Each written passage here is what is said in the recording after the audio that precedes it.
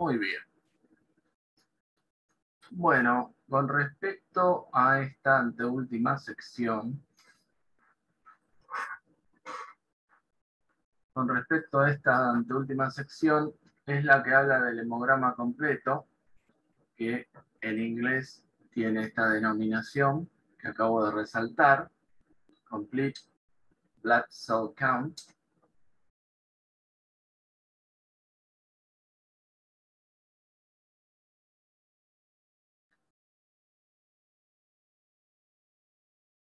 O sea que en inglés es un recuento, que es la palabra count, ¿sí? de células de la sangre completo, sería la traducción literal, digamos, ¿no? Y eh, la abreviatura es CBC, ¿sí? Esa es la abreviatura en inglés entonces para hemograma completo que incluye, vamos a ver, varios tipos de análisis, puede incluir, no siempre se piden todos, a veces sí, y entonces ustedes si alguna vez les pidieron todos los análisis del hemograma completo, el informe pueden ser dos, tres páginas cuando le dan los resultados, pues son varios. ¿no? Pero bueno. Eh, empieza a explicar el texto qué es el, el hemograma completo, el CDC count. Primero que nada aclara que es eh, a measurement. Measurement es una medición. ¿Sí? Es una medida o medición. ¿De qué? Of size. Size. Tamaño. ¿Qué es lo que se mide entonces? Se mide el tamaño. Size. Number. El número. Y maturity. La madurez. El estado evolutivo puede llegar a haber algunas células que no están muy sanas que digamos, células enfermas, o células que por alguna u otra razón, por alguna disfunción, por alguna enfermedad que hay, eh, no, están, están eh, pasando por una etapa, ¿cómo lo puedo decir? Eh, en la cual están en proceso ya de,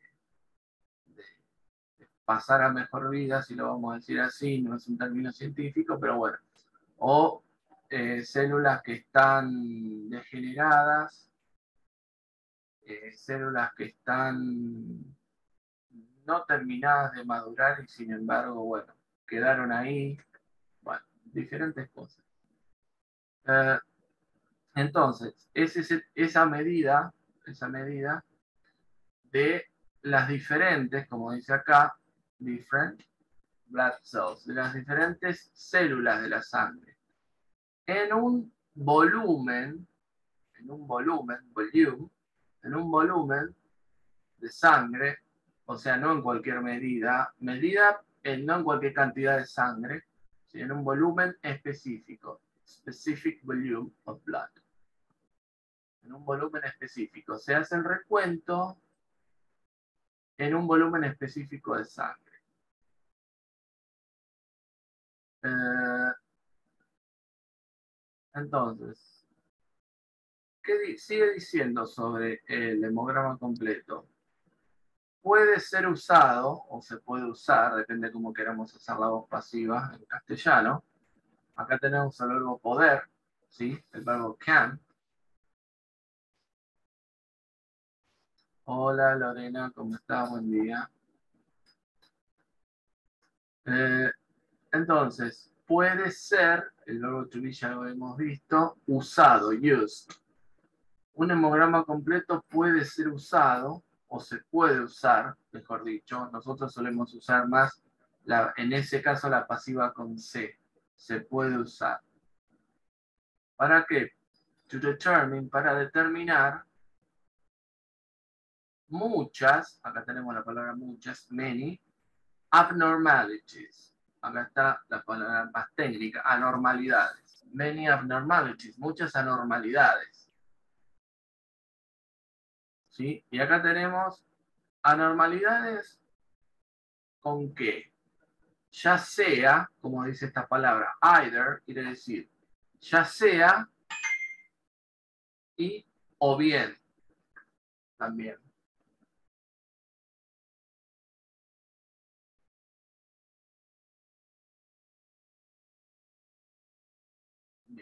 Entonces, ya sea con, la preposición en inglés con, es esta que está acá, with, con. Determinar entonces el lemograma completo se puede usar para determinar muchas anormalidades, ya sea con the production, la producción, o la destrucción, destruction. A veces se determina, se ve que hay una sobreproducción de células, a veces se están destruyendo las células, como producen algunas enfermedades, ¿sí? ya sea con la producción o la destrucción de células de la sangre, blood cells, o sea, glóbulos rojos, glóbulos blancos, qué tipo de glóbulos blancos, hay cinco tipos principales que habíamos visto, y, eh, o plaquetas, o combinaciones de los. Bien. Entonces, ¿qué es lo que se puede usar para indicar, indicate, una infección, infection, ¿sí? O un proceso, process, un proceso de infección o proceso infeccioso, o un proceso de enfermedad, disease. ¿sí? Esta es la palabra en inglés para enfermedad, disease. Lo que va a indicar que hay un proceso infeccioso o una enfermedad en curso son las variaciones, variations, variations, ¿sí? Son las variaciones en que en el número, ¿sí? Number, en el tamaño, size, o como dijimos, en la madurez normal de las células de la sangre. Entonces, si hay variación en el número, en el tamaño o en la madurez normal de las células de la sangre, eso puede indicar un proceso infeccioso o una enfermedad en curso o presente ya. Ya. Obviamente. Entonces, variations, variaciones, y nuevamente número, number, size, tamaño, maturity, madurez. Y infection, process, proceso infeccioso, y acá la palabra en inglés, disease, enfermedad. Bien, seguimos. Entonces, sigue detallando al PDF. A menudo, often, cuando hay una infección, infection, ¿sí? a menudo, infección, otra vez habla de el número, o a menudo, con una infección, cuando hay una infección, el número de qué tipo de células de la sangre se refiere. White, glóbulo blanco. A menudo cuando viene... ¿Por qué? Porque el glóbulo blanco es el que se encarga de la defensa. ¿Sí? Entonces, a menudo cuando hay una infección, el número de glóbulos blancos, white blood cells, ¿cómo va a ser? Elevated. Hay muchos más, se generan muchos más obviamente, porque el sistema detecta que hay una infección, una disfunción, algo cuerpo extraño, en el torrente sanguíneo, incluso células que no son del cuerpo humano, cosas, eh, y manda a producir, ordena producir en la médula ósea eh, más glóbulos blancos que glóbulos rojos. Por eso dice que a menudo con una infección el número de glóbulos blancos será elevado.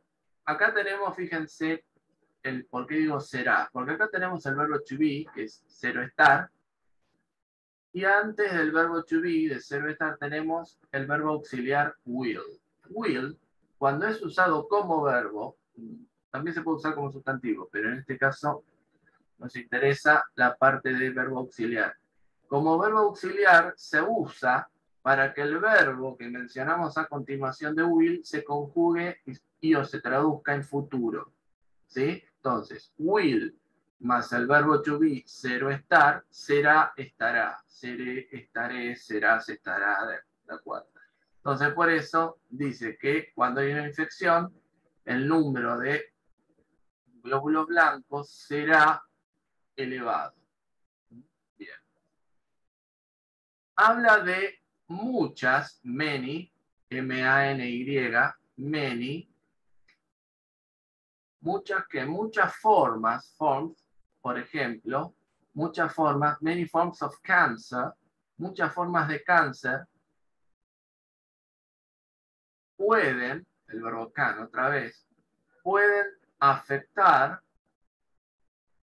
justamente lo que habíamos hablado recién, la producción de production, ¿de dónde? De, de bone marrow, de la, de la médula ósea.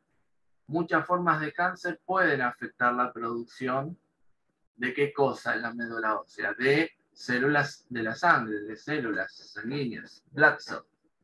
Hay muchas formas de cáncer que justamente sí pueden afectar esa producción, obviamente.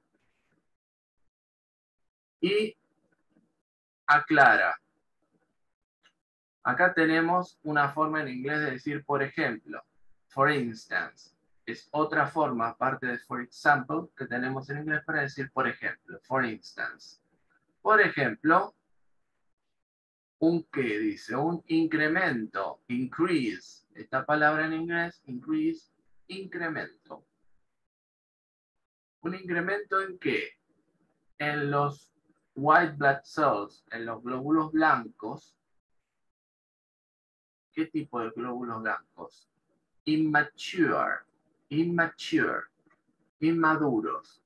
Entonces, por ejemplo, si hay un incremento en los glóbulos blancos inmaduros, en un hemograma completo, en un CBC, puede estar associated, associated, así se entiende mejor, associated, puede estar asociado, aunque es transparente, se parece bastante, ¿no? Entonces, un incremento en la cantidad de glóbulos blancos inmaduros, si sale eso en un hemograma completo, puede estar asociado con esta enfermedad, uno de los distintos tipos de cáncer que hay, leuquimia. Leuquimia en inglés es el cáncer en la sangre, leucemia.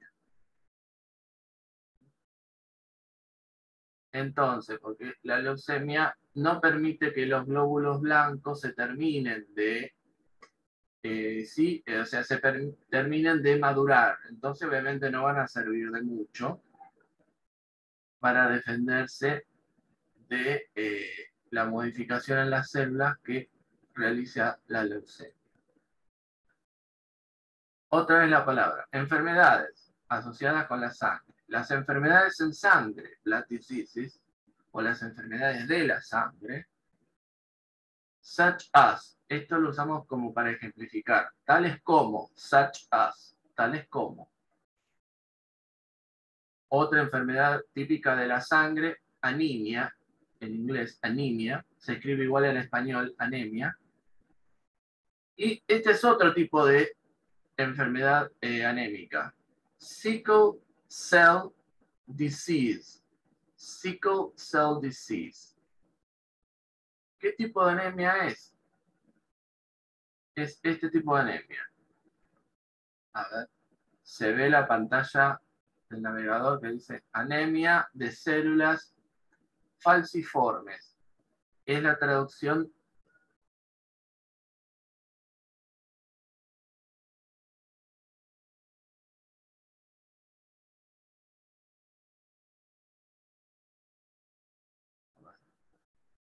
acá me aparece la margen.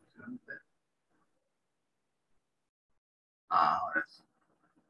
Bueno, anemia de células falciformes.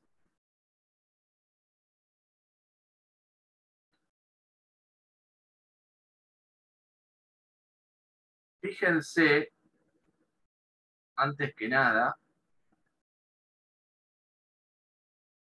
la forma que tienen los las células sana redonda, va, redonda, eh, redondeada o redonda, células que, y fíjense las células que tienen. Profe, está como tildado, ¿no? No se ve, profe. no, no se ve nada, está, está tildado en, como en el texto. Ah, bueno. A ver si se...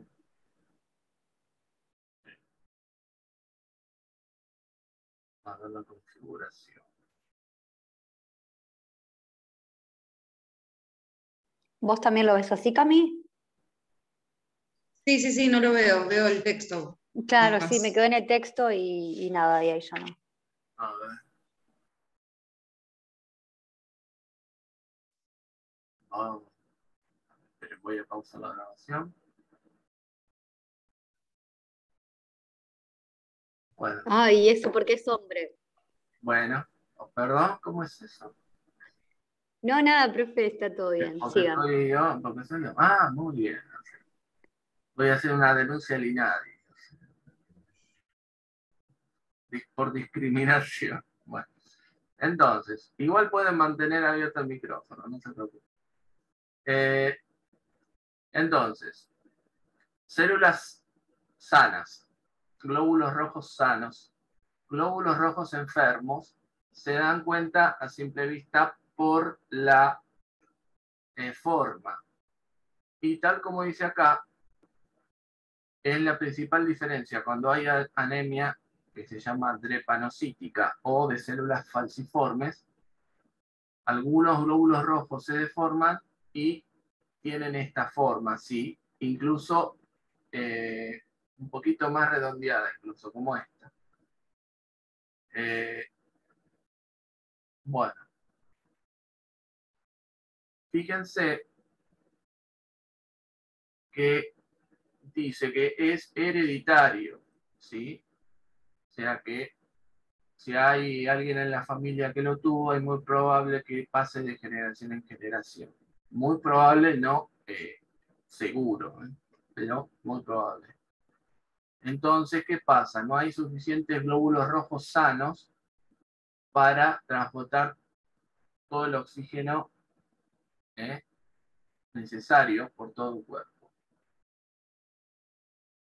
Este, ¿Por qué? Porque, tal cual dice acá, estas células tienen eh, quedan rígidas, dice, pueden quedar atascadas en los vasos sanguíneos pequeños, en los capilares más que nada, ¿sí?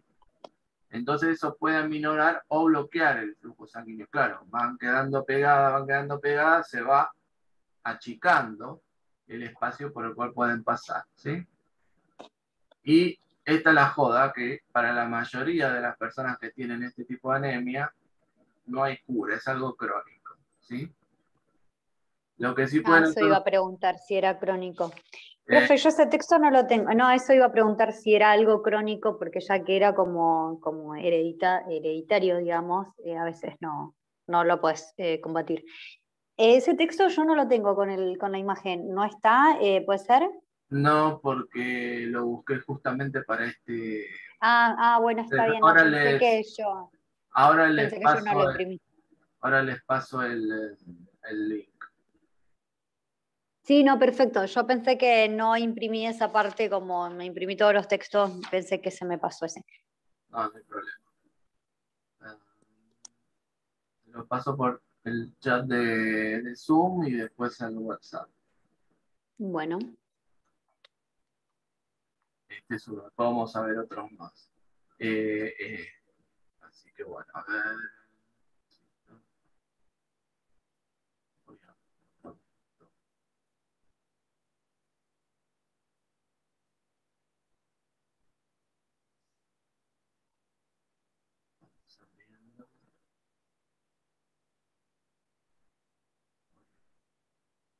WhatsApp.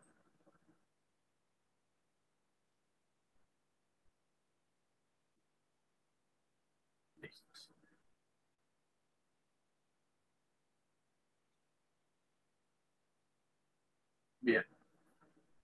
Y, eh, pero como termina diciendo el texto, los tratamientos pueden aliviar el dolor y ayudar a prevenir las complicaciones trae esto, obviamente, cuando hay déficit de oxigenación en la sangre, obviamente que puede haber complicaciones, eh, jodido. A veces, tanto la anemia como esta forma de anemia, depende del grado de complicación, puede llegar a eh, traer, una de las complicaciones cuál es que la persona necesite transfusiones directamente de hierro ¿ya? por viendo venosa tenga que ir cada tanto para que le pasen hierro, porque no hay forma quizás, si no resulta en la toma de pastillas de, hierro, de comprimidos o de inyectables, a veces hace falta, eh, depende de los análisis de laboratorio, hace falta que se hagan transfusiones de hierro. Es jodido porque hay que ir cada tanto y duran no sé cuánto tiempo hasta que te pasan todo el hierro por la vía no es muy cómodo tampoco, digamos, ni muy lindo, pero bueno. Así que bueno. Todo esto también puede tener trastornos en el sistema digestivo. Depende, depende de la complicación que uno tenga. Es un montón de cosas. A nivel, lo que es a nivel sanguíneo puede complicar un montón. Eh, vamos a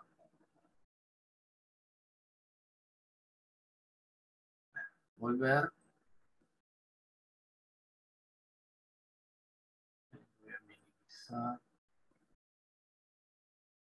este. Bueno. ¿Se ve bien la pantalla? Cambiamos a la otra ahora. ¿eh? Sí, sí, sí, se ve. Bueno. Entonces, estas enfermedades en la sangre, como dijimos, la anemia y la que vimos recién que en inglés es esta, sickle cell disease, anemia de células falciformes,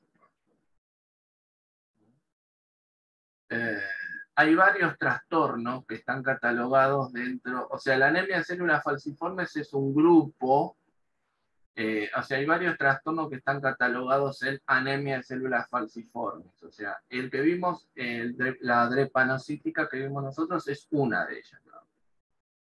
Pero bueno, esto seguramente en hematología y todo eso lo, verán más. Este, ¿Y qué es lo que, fíjense que dice cause, qué es lo que causa o va a causar este tipo de enfermedades en la sangre? Que la hemoglobina, hemoglobin, esté anormalmente, abnormally low, baja. Obviamente, al haber enfermedad en los glóbulos rojos, la hemoglobina va a estar baja. ¿Sí?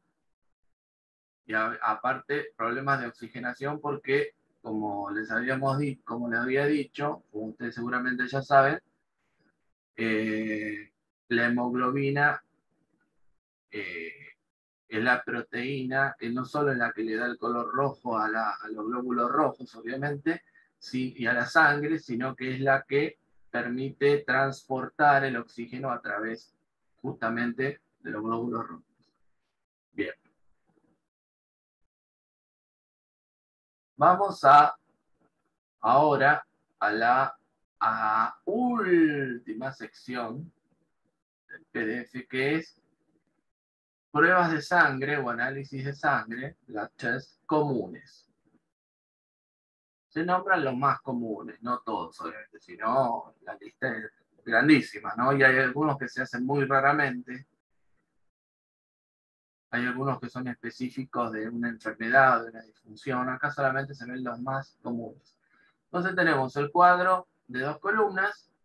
La columna de la izquierda, test, o sea, prueba o análisis. En realidad, para ellos, test es lo que nosotros llamamos prueba. Para ellos, el test, la prueba, puede incluir muchos análisis. O sea que prueba no es lo mismo que análisis. La prueba puede tener 20 análisis, por ejemplo, como pasa en el hemograma completo, que puede haber más de un análisis. Realmente sí hay más de un análisis. Y en la segunda columna tenemos usage, los usos que se le dan. el uso o los usos que se den. Entonces, el primer, la primera prueba, el primer test que, em, que describe justamente el CBC, el hemograma completo, que incluye white blood cell count. Count, recordemos que recuento.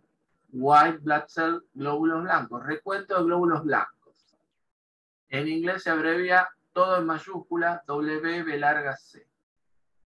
Por si alguna máquina alguna vez, le, algún analizador alguna vez le tira un papelito de lo que todavía eh, hay algunos que me dicen que todavía tiran los resultados en inglés.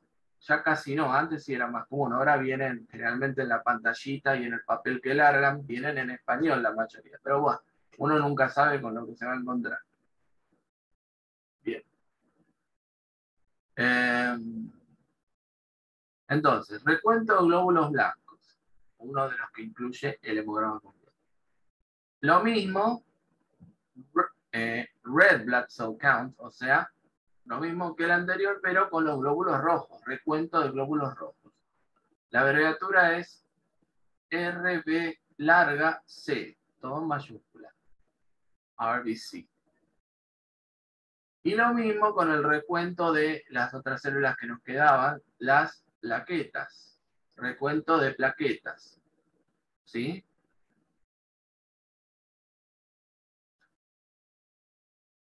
Después tenemos también el famoso, en inglés es casi igual que en español, hematocrit, el famoso hematocrito, ¿sí? En volumen en sangre. ¿sí? Siempre es en un volumen, ¿sí? Es un volumen específico en sangre, ¿sí? ¿Por qué aparece la palabra red blood cell? Glóbulo rojo, porque el hematocrito es un tipo de recuento de glóbulo rojo, ¿sí?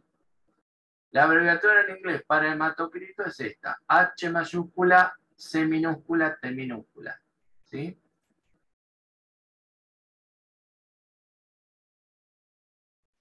Otro de los análisis que em, incluye el hemograma es hemoglobin concentration concentración de hemoglobina. Esta es la abreviatura solamente de hemoglobina, ¿sí? HGB, H mayúscula, GB minúscula. Y, ah, vamos a ver eh, algo sobre hematocrito, ¿sí?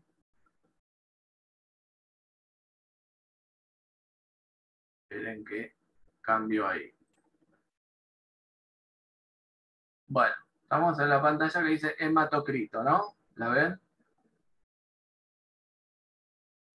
Sí, sí, se ve.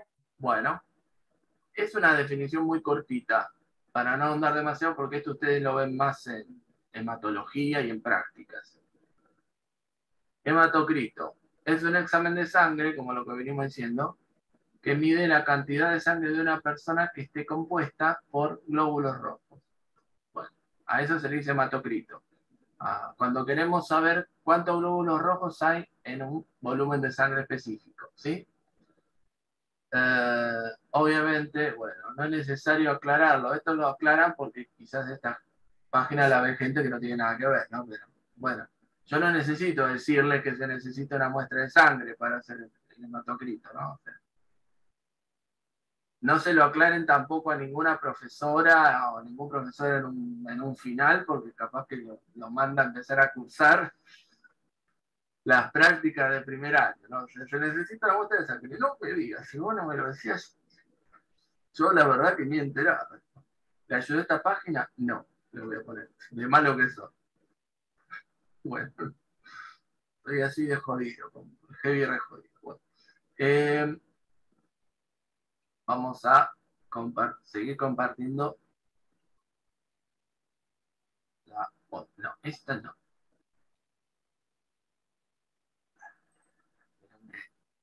Es, porque compartir el explorador. Bien. Y ahora, un mosquito ahí, bueno, tenía que morir.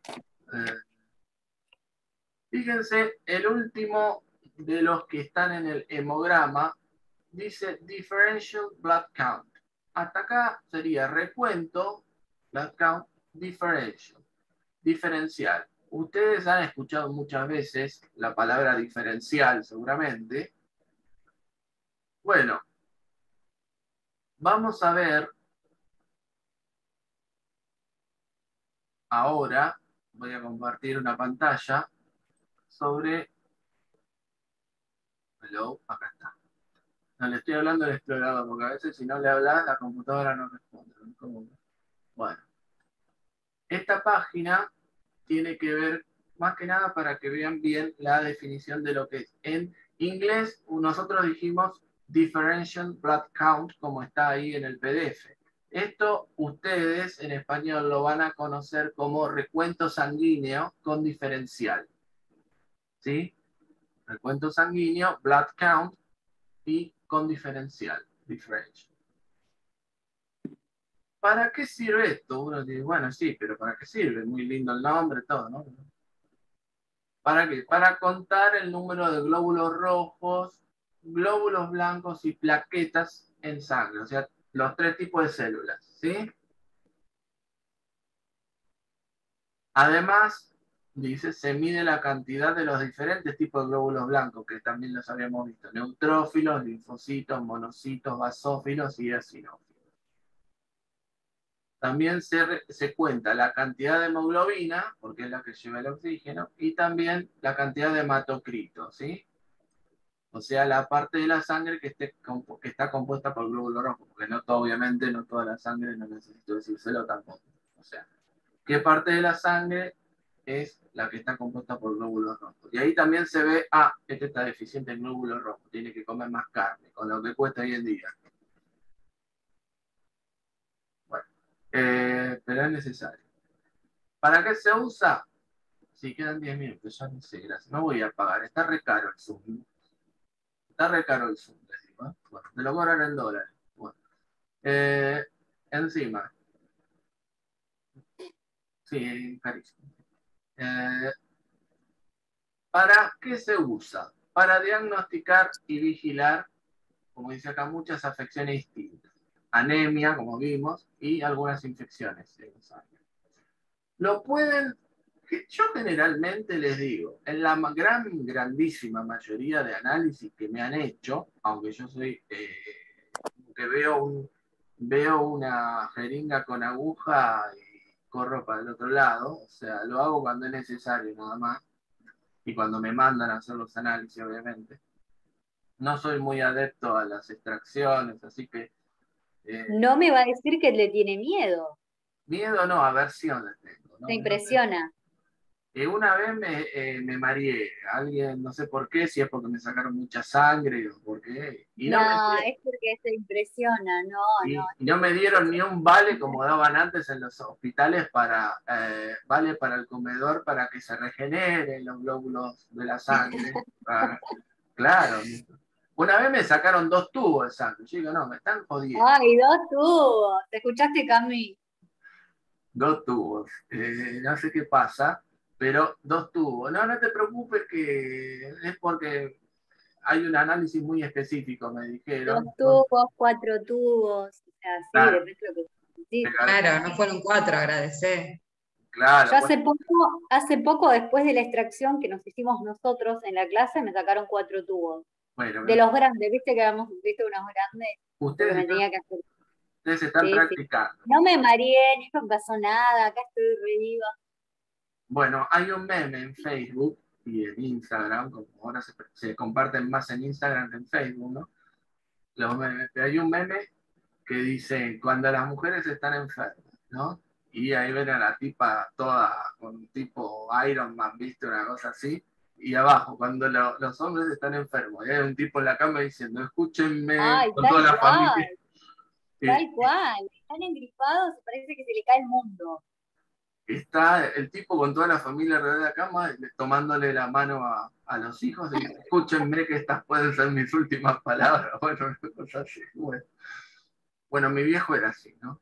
Este, Yo solamente insulto. Casi todos son así igual, casi Yo, todos. yo, a mí- yo lo hago, pero insulto al universo, no es que sea, es. Aunque sea una gripecita, ah, ¿no?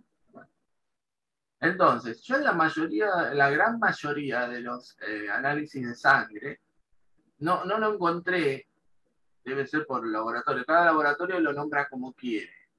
Eh, hay varios nombres para el recuento sanguíneo diferencial. Yo la mayoría, como dije, la grandísima mayoría, lo encontré con este nombre, fórmula leucocitaria. Ese es el nombre que, no sé si es acá en Argentina, justo en ese laboratorio o por el tipo de método que usan, pero yo lo encontré muchas veces como fórmula leucocitaria. También se puede llamar biometría hemática con diferencial. Esto es más largo, por eso debe ser que eligen fórmula leucocitaria. Cuadro hemático con diferencial, hemograma con fórmula leucocitaria y RSC con diferencial. Entonces, bueno. Este, entonces, volviendo a el PDF. ¿Para qué es que se usa esto, el CBC, el eh, hemograma completo? El verbo este, en inglés, ayudar. Para ayudar o auxiliar, también lo pueden resumir, lo pueden traducir, perdón, como auxiliar, si no quieren usar el verbo ayudar, capaz que queda más lindo auxiliar, ¿sí? Así que bueno. Uh, ¿Cómo me quedó rojo acá? Me rasqué y me quedó. Bueno. Si tuviera una enfermedad, me diría, eso es por cuestiones de la sangre y del corazón. Váyase a hacerse un chequeo. Bueno. Y yo, obviamente, voy a hacer un chequeo. Eh, Qué exagerado. la última vez que me vio así, me, uh, mire, le queda reticulado. Vaya al cardiólogo. Así me dijo. Directamente, vaya al cardiólogo.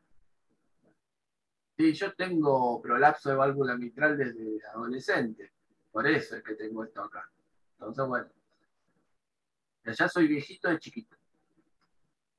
Ah, bueno. Bien. Ya soy viejo de chiquito. O sea, entonces. Pero, entonces, ¿para ayudar en qué? Diagnosing. En el diagnóstico o para ayudar a diagnosticar, ¿sí? Diagnosing. Ayuda a diagnosticar que, como vimos anteriormente, anemia, la anemia, y otros disorders, desórdenes, ¿sí? Y otros desórdenes de la sangre, ¿no? Y en ciertos, esta es la palabra en inglés para ciertos, certain, ciertos, como dijimos recién, esta enfermedad del tuje, para no decir la palabra, eh, y ciertos cancers of the blood, ciertos cánceres de la sangre, ¿sí? Obviamente leucemia es el más, el más conocido. Eh, ¿Para qué también se usa el eh, hemograma completo? Para monitorear, controlar, vigilar, lo pueden traducir como quieren. Es mucho más formal traducirlo como monitorear que quizás como controlar. Hay médicos que te van a decir controlar, hay médicos que te van a decir eh, monitorear, depende como, la, como quieran hablar, la labia que tengan. Bueno, y no me digan que porque es hombre va a usarlo más informal porque tienen más chamullo, no sean así, porque ya una, una alumna me lo dijo una vez, ¿eh? Se quieren hacerlo lindo, después. Bueno, ya me atajé por la duda, ya tuve esa experiencia en, una, en unos, no sé si hace un año, dos años. No, y bueno, sí, bueno. Si es, si es, si es un doctor, si es un varón, va a querer eh, para hacerse lo importante. Bueno, yo está bien, tuviste alguna mala experiencia con algún, con algún hombre, bueno, Y si se quiere hacer el importante, ¿qué palabra, palabra usarían? y Monitorear. monitorear. Monitorear. Eh, No, sí, hay que monitorear, eh, eh, señora, señorita, hay que monitorear. Bueno, pero igual está bien aplicado, está técnicamente Está- bien aplicado. Está bien aplicado, pero depende por eso de la elección. Capaz que el, tipo dice, hay que controlar los glóbulos rojos en sangre. Y otro dice, hay que monitorear el nivel de glóbulos rojos en sangre. Entonces la paciente, ah,